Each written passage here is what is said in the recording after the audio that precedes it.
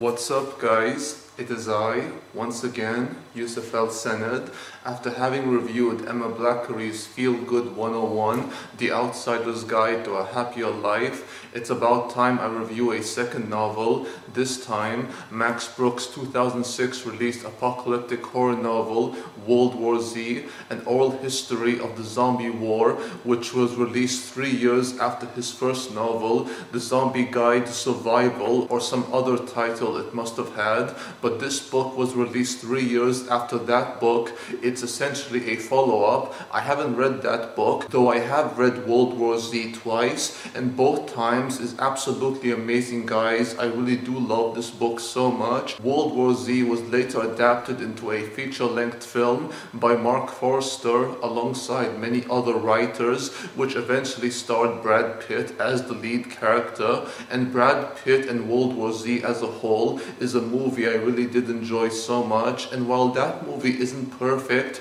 it's not based in any way on World War Z the novel because World War Z the novel is basically a documentation of the experiences people have went through during this 10 year zombie war, the 10 year zombie epidemic, which is completely different from World War Z, the feature length film by Marc Forster. And this book, guys, is very complex and very huge and has an epic scale feel, even though we are basically seeing the story unfold from different point of views, whether be it in the United States of America, Iran, Taiwan, China, Russia, Israel, Palestine, among many other countries around the world. This book is so huge in terms of how the story is told from different point of views. World War Z begins with the narrator or the writer of this book who's basically telling us, the readers, about how he's going to basically document the experiences and hardships of many people from different nations across the world and how they had to deal with the zombie apocalypse,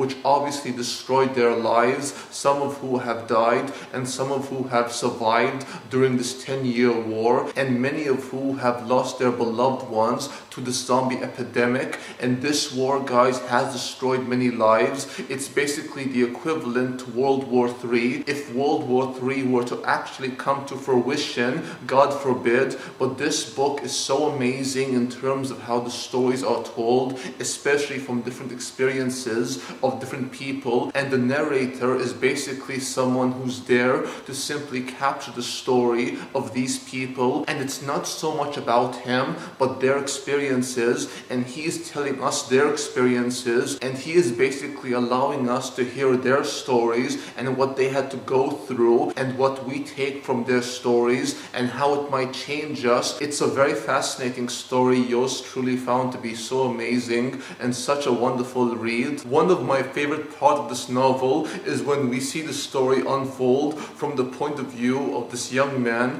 from Palestine, which is right after the story told from the point of view of one adult from Israel. Tel Aviv, Israel, I believe is the part of which that adult man is from. And this story from the point of view of the Palestinian refugee. It's quite funny because this young man really hates Israel and he really hates all Jews because of how the Jews have persecuted his people and have shown nothing but prejudice even though this war between Israel and Palestine has so many complexities to it. It's not a one-sided war because both sides are wrong and even though the Palestinians are technically my Arab brothers, I don't see them as completely saint or as completely flawless of their sins because both sides have their flaws and this one young man from Palestine is quite funny. I mean, this young man is a martyr or someone who wants to be a martyr and he hates the Israelis so much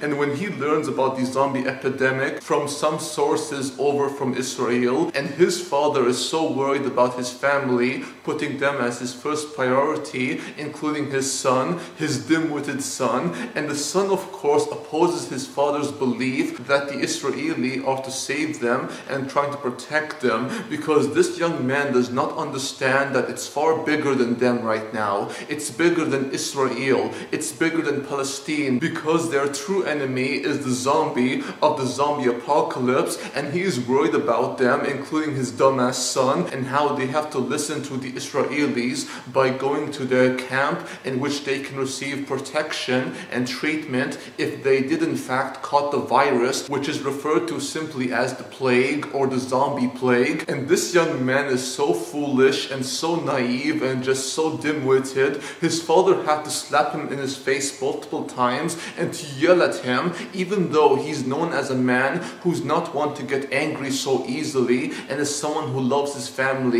But when his son accuses him of being a traitor and basically calling him a whore of Israel or something like that, his father loses his mind and attacks his son and tells him, You will go to this camp or you will go no matter what you may think or what you may believe in. You are my son, you are my family, and you will listen to me, you will obey me. This son is such a weakling. I mean, he talks about being a martyr and about doing this for his people, for his faith, his religion. It's so embarrassing, guys, because in the end, he's a chicken, a chicken shit who can't stand against his own father. He said so himself, something about, you know, not being a true martyr or some martyr I am. And I was like, yeah, brother, yeah, some martyr you are. But yeah, guys, that was my favorite part of the novel, a part which I really did love a lot because of how silly it was and how silly the son is. But this story is just so amazing and the different point of views from different people and their respective countries is so amazing and hearing their tales unfold is quite horrifying but also quite interesting. And this book guys I was so blown by it. And considering that I have not read the Zombie Guide to Survival which I do want to read World War Z is the book that actually got me interested in reading that book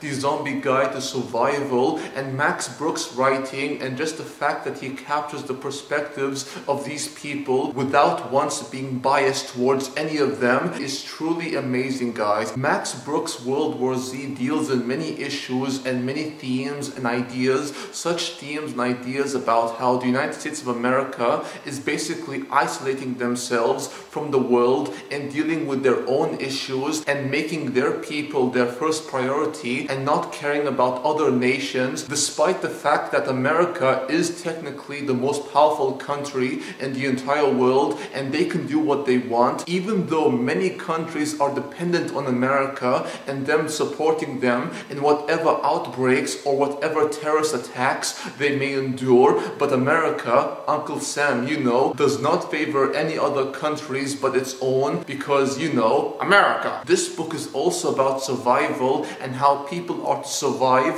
against the zombie epidemic. It starts off with people being so scared and so frightened by the zombie epidemic and the fact that their countries are not warning them about the zombie epidemic and other countries are doing the exact same thing, not warning their people until after it has happened and the zombies have come to their doorsteps and killed those they love. The government is so inept in what they do, not listening to their people or trying to do what they have to do to ensure their safety and well-being because the government is all about their image and them trying to preserve their image, whatever it may be, and keeping whatever secrets they have as a secret so the public would not go crazy and create a worldwide panic and that would be very bad for them but they don't care guys because you know it's the government. Max Brooks World War Z is such a great novel and one I did find to be very fascinating and this book is definitely for you guys and gals to read if you wish. Thank you all for